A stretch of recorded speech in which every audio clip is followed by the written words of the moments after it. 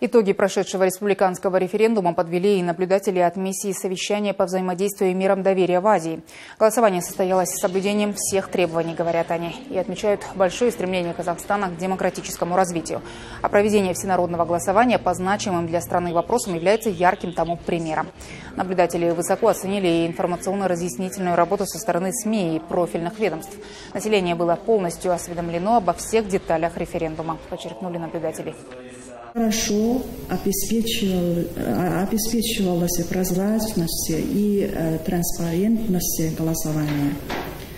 Э, осуществлялось беспрепятственное наблюдение э, и изложение мнения общественных организаций и международных наблюдателей.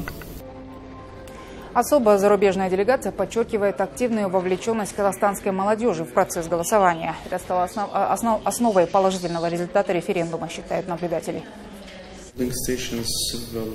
Все участки голосования были хорошо организованы. Все проходило достаточно прозрачно. Никаких нарушений мы не выявили. Хочу отметить, что активно участвовала молодежь. Все эти факты отражают порядочность, энергичность и неравнодушие казахстанского общества.